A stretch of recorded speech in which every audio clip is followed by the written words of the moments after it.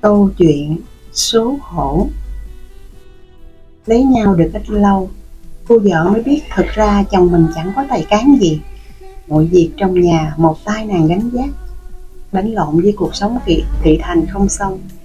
Hai vợ chồng dọn về ở làng chài gian biển tìm kế sinh nhai.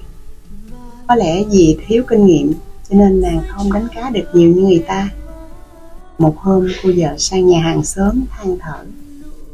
Chị ơi, chị có biết biết gì không? Giúp cho em với.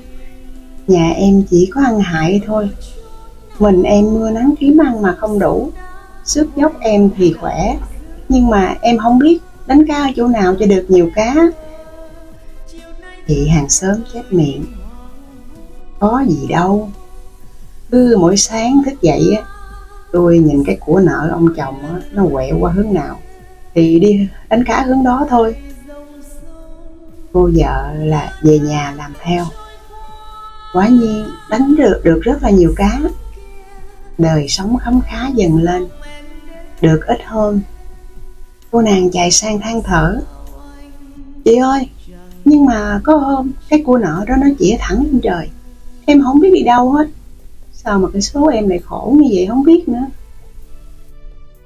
Cô hàng xóm cười khẩy. Phải gió nhà chị hôm nào nó dựng đứng lên, thì ở nhà chứ còn đi đánh cá gì nữa. Có phước mà còn không biết hưởng à.